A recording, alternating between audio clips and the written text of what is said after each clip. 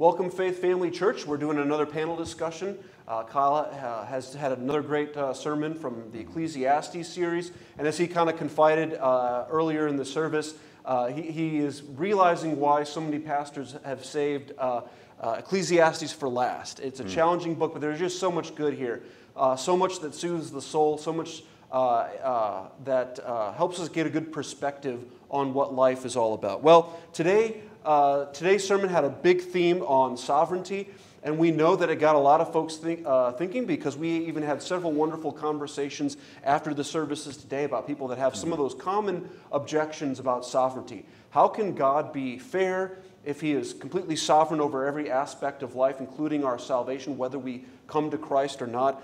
Um, what, is, what are the implications of that? Are, are we just robots, that kind of thing? And we've, we've had some wonder, even just before, we had yeah. some wonderful conversations about God is just. And if God is not just or he is unfair, then the universe makes absolutely no sense. So we know that. We also know that he is, uh, uh, that all mankind deserves uh, punishment, so that he would be completely fair to let us all go our own way, like Romans 1, just give, leave us over to our own selves. And that we all deserve punishment. We've all fallen short, even though we haven't all been as terrible as some others. And yet he has chosen in his sovereignty to show love to some, to glorify himself by showing mercy to those who, uh, through, his, his, uh, through the Holy Spirit, turn uh, to Christ from their sins. And that, again, there's a lot of difficult questions uh, that that raises. And it, it, helps us really understand who God is in his fullness, um, and even, which is frightening sometimes. But if we press on, as Kyle was uh, was encouraging someone today, if we press on through that, we will have a better, more full picture of the goodness of God as well. Um, so I, I promised uh, Kent that I'd give you a chance to clean up my mess, but go ahead. There are a lot of uh, common objections that we have to sovereignty, and it can be a, a terrifying, mm-hmm. fearful uh, doctrine in many ways.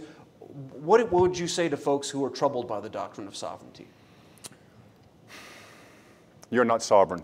That's what I would tell you. Um, Amen. Um, yeah, you're not sovereign. And I, I think you know, experientially, um, the more that we try to control things in every single little event and moment in our life, the more we realize that we're not in control. And, and I think it's kind of, it's frightening to us because we want to be in control. We're, we're living in a culture that, that tries to have control over seemingly everything. We try to control uh, the political spectrum, the economy, you know, our children's lives, you know, just every little thing, our careers.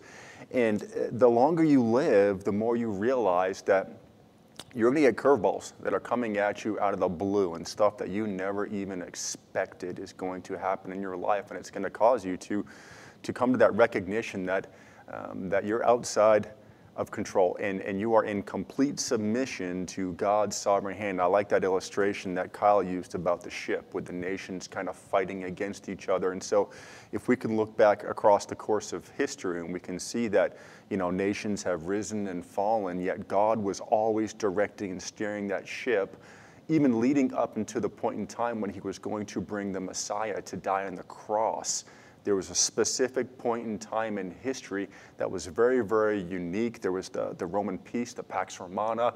All of these things happened and occurred at a specific point in time at, at, at the end of the ages, the culmination of everything that God had orchestrated so that the Messiah would die, so that he could ascend into heaven, intercede for people. But then also giving that peace in which the, the gospel was launched globally. Mm. So if he can orchestrate all of that to happen at the time frame for his son, he's still sovereign today. He's still sovereign over every aspect of your life and as the gospel moves throughout the world today.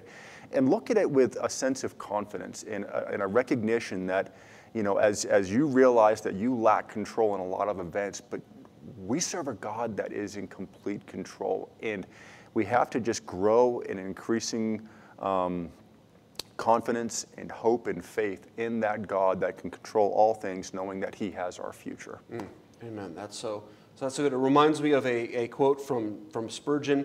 He said, The greatest, uh, the sovereignty of God is the greatest pillow. Absolutely. Uh, it's something that can give you peace. And that's what it is meant to do. I know, I, even from my mom's own experience, uh, she uh, grew up in the church and became a believer at a young age and grew up in a small church. But it wasn't until she went to Bible college that she really heard about the doctrine of election, that God uh, chose, uh, chose us. And it was such a comfort to her to know that, in her words, it wasn't an accident that she came to trust in Christ. And that was a great comfort to her. And of course, that as Kyle has been talking a lot about suffering today, That is what gives us uh, peace in the midst of a storm. Peace, having peace doesn't always mean that the circumstances of our life are going well. Um, as we know that, uh, for, that Kyle mentioned today, and the Psalms clearly show that we can mourn, we can mm-hmm. uh, be honest with God about how we feel.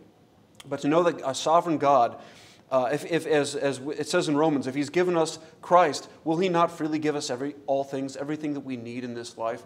So we can rest our heads knowing that, uh, that God is in control. And even the difficult things in our life, He has some good uh, uh, for us and for His glory in that. We might not even know in this life uh, what that, all that that was, but we can trust Him because if He's, if he, if he saved our souls, we know that uh, He has nothing but good uh, for us. And that doesn't lead to complacency. We, it's okay to uh, you know, buckle your seatbelt to try to prevent accidents. It's okay to invest for retirement, have health mm-hmm. insurance, life insurance. It's okay to prepare uh, f- for these things. But as we do that, we, we do it humbly, knowing that uh, God's plan is better than ours, and all we, there's only so much that we can do to prepare and to plan and be wise. And beyond that, we can just trust in, in the good sovereign plan uh, yeah. of God. Amen. And, you, and you, now this is personal for you, Kent. Um, what are some ways that you personally in your own life have learned from the suffering that God has sovereignly allowed in your life? Mm. So I, I have to frame everything based off of a worldview of the fall. And so, you know, in Genesis chapter 3, with the fall of man, with the curse, uh, you see that Adam, that God tells him, by the sweat of your brow, you will, you will work through thorns and thistles for bread, that you will work, that you will labor all the days of your life. And also Eve had the curse that, um, she, you know, through childbearing, that she would bear the pain of childbearing. And so everything in life is going to be marked with pain and with toil. And the end state of, of all of our lives is going to be death. We are all going to die. So once we encounter suffering, there's a sense in which the suffering should cause us to recognize that there is something better that we are intended for, that there is a better hope, that there is a better place, that there is a better government, that there is a better father, that there is a better life for us, that all of this this, this muck, this mire that we live in today should press us to look for something better. And in doing so, you could say it, you know, from an unsaved person, they should have a sense in which there's something wrong with this world. There's something fundamentally wrong with everything that is happening in this world, but yet I am called, I, I in, inherently that I'm created for something better. That, that, that God has created me with eternity in my heart that presses me for something better. So that should cause them to run towards the gospel, towards faith in it. Now, Christians, we also are going to encounter suffering as a part of our sanctification. We're not just saved and then boom, you're going to go up to heaven mm-hmm. the next day. You know, there, there's a sense in which suffering is part of our, our conforming and growing into Christ's likeness. And the more that we suffer, the more that we encounter those things, the, the, the better that heaven looks, quite frankly uh, the more glorious that it looks. Uh, you know, one of the things that I have encountered in, in my suffering is it's good to have a, a great knowledge of Scripture, of the mm. biblical narrative, and to know Scripture, to know places you can go to. I mean, I like to go to Romans chapter 5, you know, where he says that we rejoice in our sufferings, knowing that suffering produces endurance, and endurance produces character, and character produces hope.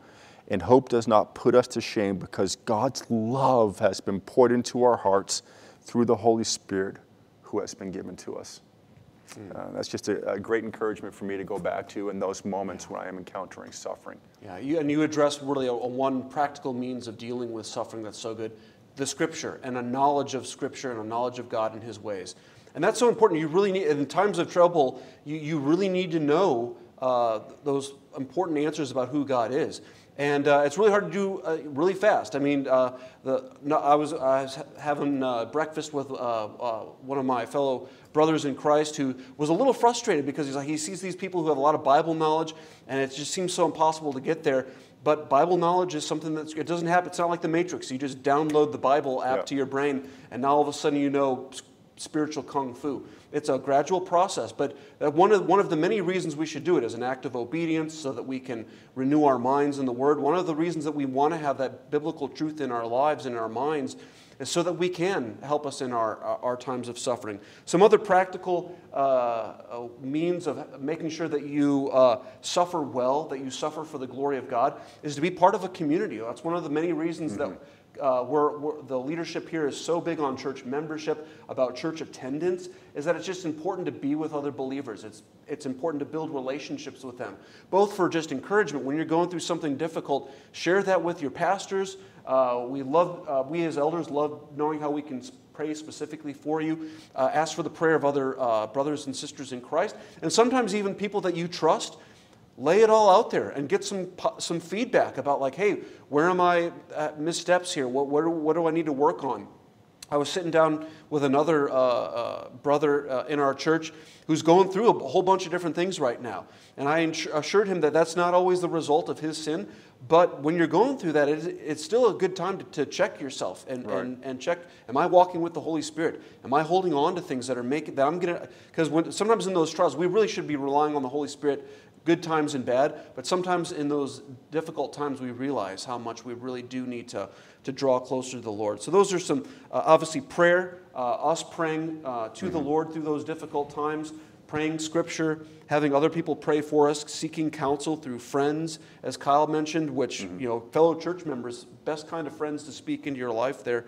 And yeah. then to just resist our natural reactions many times, whether it's to react in anger or in, in, in despair or bitterness. Uh, but to, uh, to, to draw into God and to, to seek those answers from Him. Well, uh, Kent, how are some ways that the, the suffering and the injustice we see in this life mm. is preparing us for the next life? Yeah. So, you know, as you look around and, and you see, we could say, racial injustice, political injustice, injustice with the police, economic injustice, uh, there's injustice that happens all over this world. And it, it's a reminder to us that we're living in the fall. Uh, you know, that we are living in a fallen, sin marred world. And, you know, our, our, souls are screaming for something better, screaming for justice. And I think as we stop and examine uh, justice, we have to recognize that, that the perfect justice, the perfect grace, the perfect love all converged on that cross in mm. Calvary. And so, you know, the, the justice that, that we have as saints who are born again in Jesus Christ was purchased by his blood. And from that, we know that God has prepared a better place, that there's a better home for us, that there's a, you know, a heaven where there is no sin, no death, no, no corrupt governments that we can look forward to. That's our blessed hope that we have as believers. Mm.